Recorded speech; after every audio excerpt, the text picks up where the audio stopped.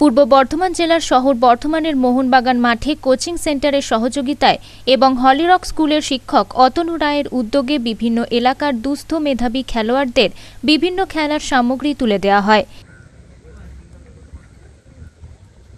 আমি ফুটবলের উদ্যোগ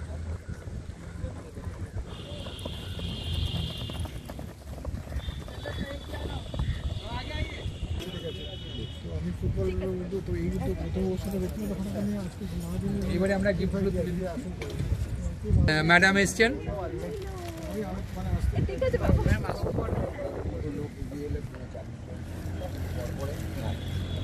আপনি থেকে গিয়ে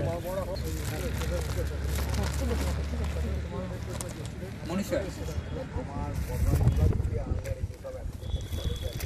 আমি ঠিক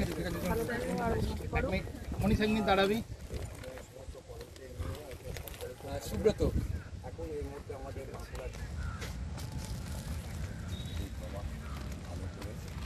আহ, সুব্রত। মারিয়া। এবার ইসিকা। এক মিনিট স্যার। ইসিকা।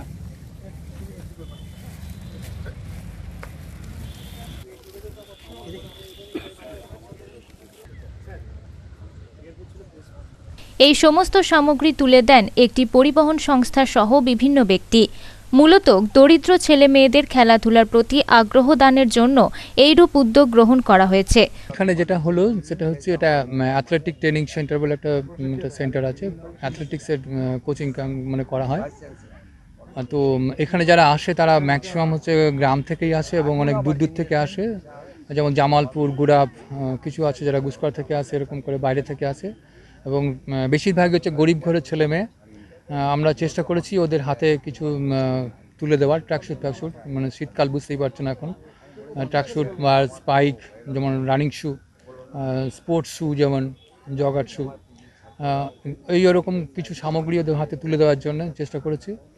বাচ্চা বাচ্চা ছেলে মেয়েদের যারা খুবই অভাবী আমি এদেরকে প্রথমেই সাধুবাদ জানাব যে এইরকম একটা এ করার জন্য।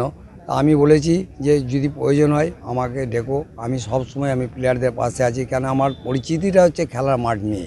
অতএব আমি প্লেয়ারদের যদি কিছু করতে পারি তাহলে আমি নিজেকে ধন্য মনে করি। উদ্যোক্তারা জানান বর্ধমান বিশ্ববিদ্যালয়ের স্পোর্টস বিভাগ তাদের সাথে সব রকম সহযোগিতা করেছেন।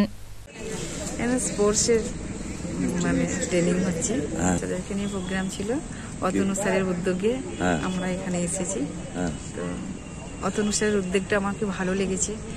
যার জন্য অতনু স্যারের পাশে থাকার চেষ্টা করছি। আমার সমর্থ মত আমি চেষ্টা করছি। আজ- আজকে প্রোগ্রামে ট্যাক্স দেওয়া হলো স্টুডেন্ট কতজন কতজন বাচ্চা? দশজন বাচ্চাদের। কারণ আমি চাই ওরা আরও উপরে উঠুক। ওরা মানে ভালো জায়গায় একটা যে পৌঁছাক। আমাদের মানে গর্ব হবে। আমাদের দেশেরও গর্ব একটা আমাদের এই, বর্ধমান ডিস্ট্রিক্টের গর্ব যে ওরা একটু ভালো জায়গায় খেলতে পারবে। পয়সার জন্য পিছিয়ে যাতে না থাকে, আমার যতটুকু সমর্থক, আমি ততটুকু ওদের পাশে আছি বা থাকব। বর্ধমান থেকে পম মহন্ত ও পিন্টু প্যাটেলের রিপোর্ট, আনন্দ বার্তা।